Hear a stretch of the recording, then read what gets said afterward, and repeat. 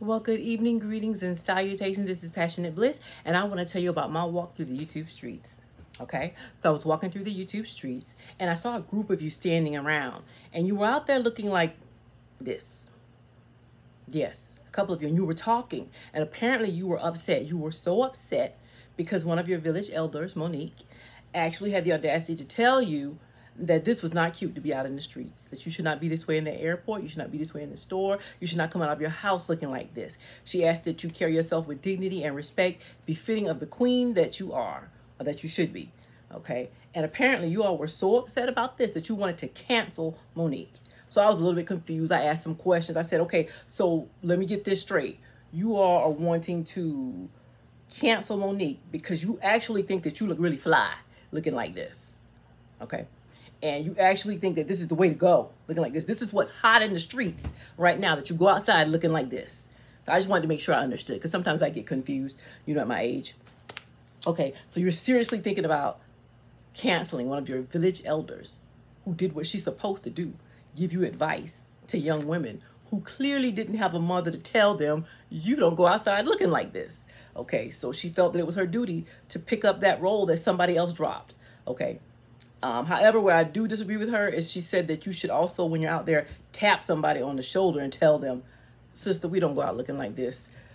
Mm-mm. Now, she's correct.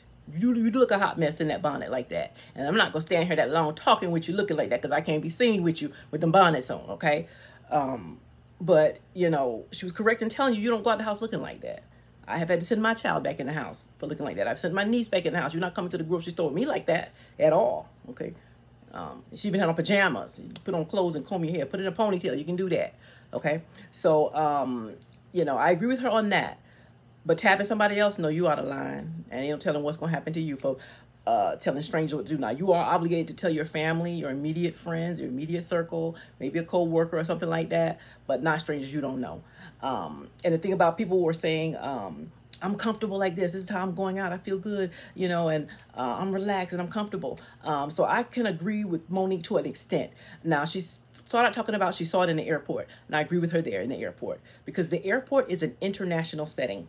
Okay, you could be seeing people from any country, anywhere um, around the world, all walks of life at the airport. And do you really want to be presented internationally as a coon in a bonnet? Okay? Because that's what people see when, that's what they think for the most part when they see you.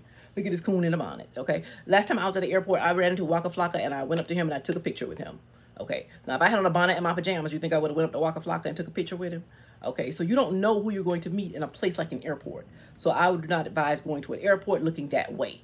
However, I have run to the grocery store looking that way because, but it was last minute. I figured nobody's going to see me. It was late in the night. Um, I thought I had four eggs. I only had two. So I had to run out. I had on the bonnet. I threw on a sweater and I went out. I was in out that store 10 minutes. I was back home. Um, low chance of anybody seeing me. So I could see you running to the gas station, to the corner store, real quick and back in your bonnet.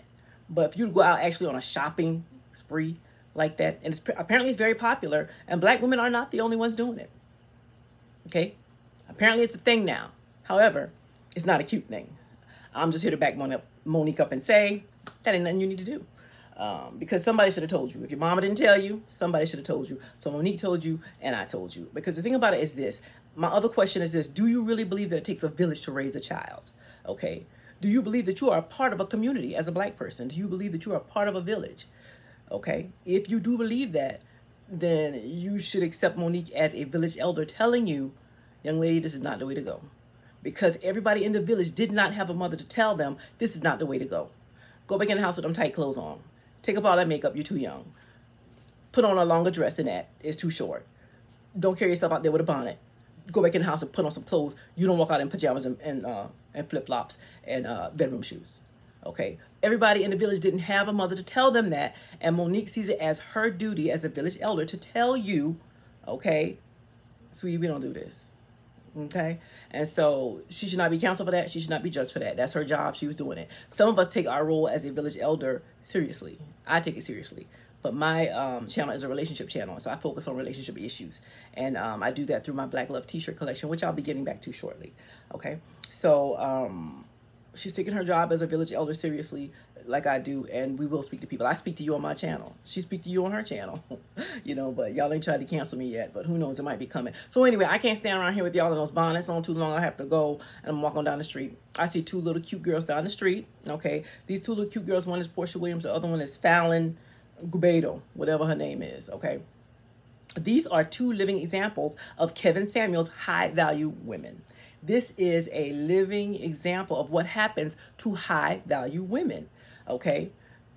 Kevin Samuels said that you are valued when you're a high value woman for your beauty, for your physique, for being uh, agreeable, and for being pleasant. And um, you also, in his scenario, you have to be young, under 25, and childbearing age. Okay. Uh, reportedly, one of the women is pregnant. Reportedly, the other one would like to still continue having children. They both already have children. Okay. But to me, it's a cautionary tale because these two beautiful young women were out on the market.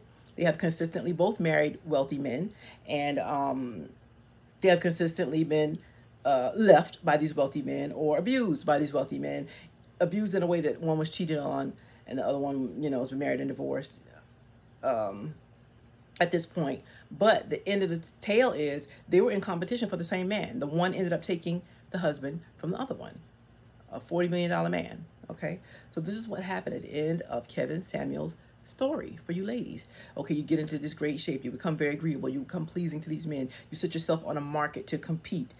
When you on the market, that means someone comes and purchases you. You become an object. You become the cutest, hottest, latest thing. Your decoration on his arm. So just like his car, just like his couch, just like his bed, just like his clothes, his suits, his shoes. Guess what happens when you get worn out? When time passes by, guess what? You're not the hottest thing on the market anymore. You're not the latest fashion. You're not the newest trend. So guess what? You get replaced. And this is what happened to Falynn. And this is how she felt about it. Take a listen.